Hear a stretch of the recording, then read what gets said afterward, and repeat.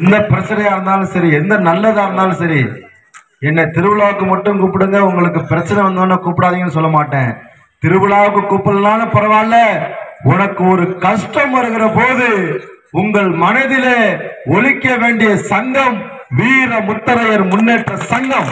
மனசுல எதுனாலும் எவனை எதுக்குனாலும் எதுக்குனாலும் வீர முத்தரையர் முன்னேற்ற சங்கத்துக்கு தமிழ்நாடு முழுக்க ஆள் இருக்கான். இன்னைக்கு சிலையை திறக்கிற திமுக தென் மண்டலத்துல மதுரையில இருக்க திமுக மாவட்ட திமுக ஆடி போனதுக்கு காரணம் என்ன தெரியுமா?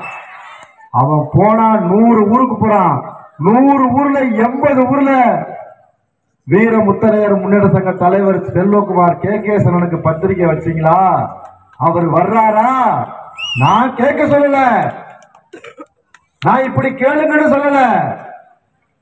அவங்க போன ஐநூறு கிராமங்கள்ல நானூத்தி தொண்ணூறு கிராமங்கள்ல ஏன் அவரை கூப்பிடல? அவரை கூப்பிடல நாங்க வரல.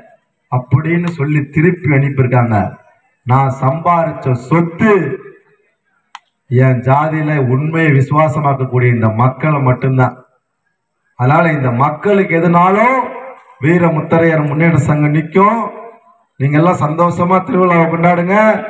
என்னைக்குமே என்ன கஷ்டம் வந்தாலும் வீர முத்தரையர் முன்னேற்ற சங்கத்தை மறந்துடாதீங்கன்னு உங்களை கேட்டுக்கிட்டு இவ்வளவு நேரம் அமைதியா கேட்ட அனைத்து தாய்மார்களுக்கும் பெரியவர்களுக்கும் இளைஞர்களுக்கும் வீர முத்தரையர் முன்னேற்ற சங்கத்தின் சார்பில் நெஞ்சம் நிறைந்த நன்றியை தெரிந்து கொண்டு விடைபெறுகிறேன். நன்றி